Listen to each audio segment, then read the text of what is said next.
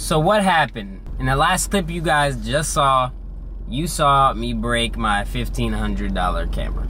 Well, to be exact, I broke the lens. When I dropped the camera, it landed on the face of the lens, ended up messing with something within the lens, nothing that I could have fixed. So I ended up asking people, asking around what should be a good lens I should get for vlogging, etc., etc.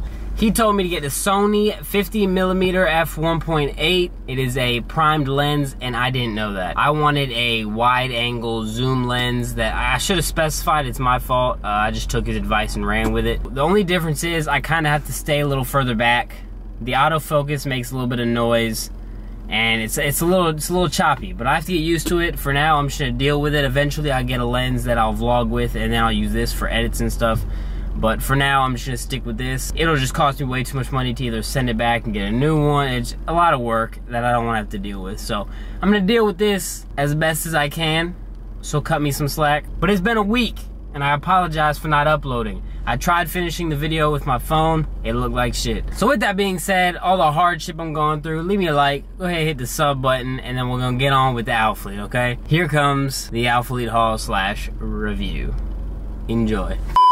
Again, I apologize if its angle is somewhat off. It's hard, especially with the small room that I have, for me to actually get a good angle for my full body. But we're gonna make it work. And again, again, I apologize for not uploading anything as of late. I had to get used to this camera as well as do some other things. I'm obviously gonna buy a new lens because this lens actually is pissing me right off. So per usual, with an Alphalete video, we're gonna go ahead and start with my stats.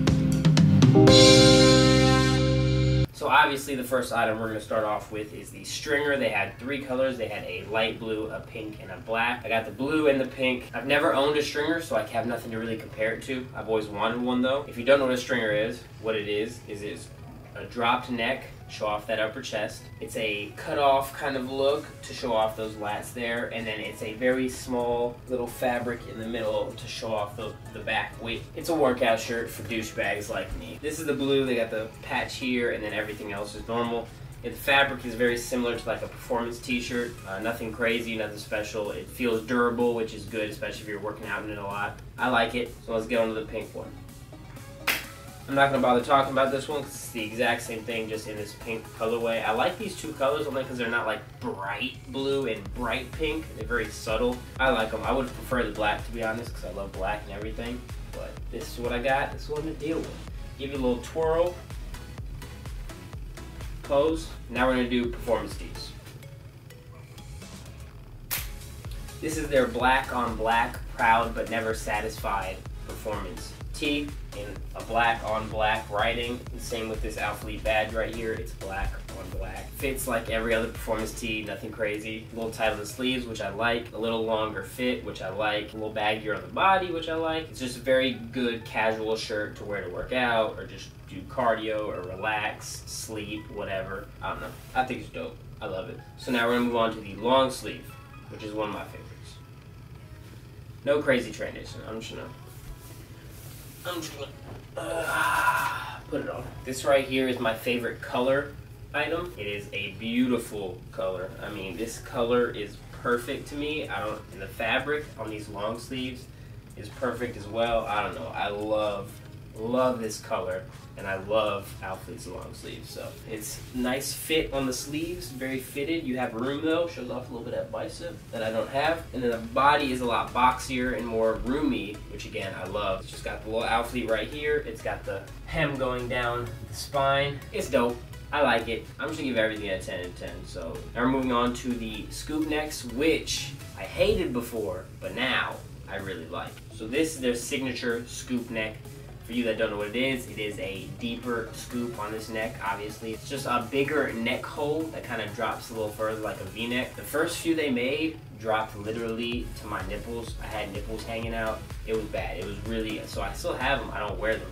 So what they did is they made this a little tighter so now it's not nearly as deep, it just shows off that top middle chest. They made the sleeves shorter so that they stack a little better, they look a little tighter. They made the shirt a little shorter, and they also put raw hems on both, which essentially just means that it's not so tight.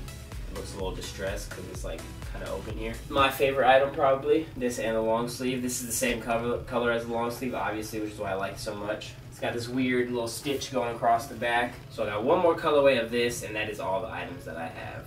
And this is the Taupe Toupe Taupe T-A-U-P-E colorway. I don't even know what it is. It's like a light tan cream color, which I love because I don't like white because I feel like one, it gets dirty too easily, and two, it's like too bright. This is like a light, light, light tan cream color, and it's the exact same as what I just showed you. With that being said, I'm gonna order a new lens, get as comfortable with this lens as I can, make some more dope videos coming up. So if you did enjoy the Alphalete haul, give it a like. It took me literally a week to make, and cost me $300 to make.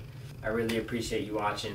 A lot, a lot, a lot of future content to come. When I go to Houston, I got a show, got a videographer, I got a lot of food coming up, I got food challenges, I got so many things in mind.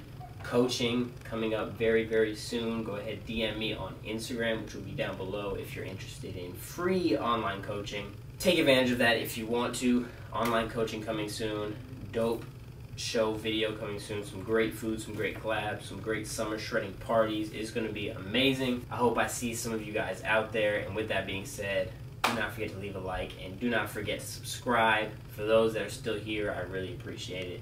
I will see you guys in the next vlog. Don't forget, be fit, stay sexy.